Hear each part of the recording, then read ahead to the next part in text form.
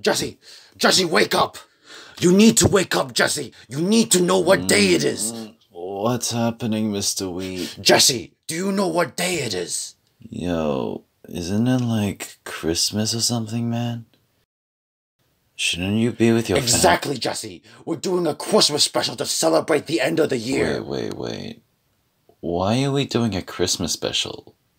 We bake drugs, Mr. Wheat. You just don't get it, Jesse. We're gonna capitalize on the world's holiday spirit to sell more drugs through this. To make sure this special goes without a hitch, I've invited everyone we know to appear in it.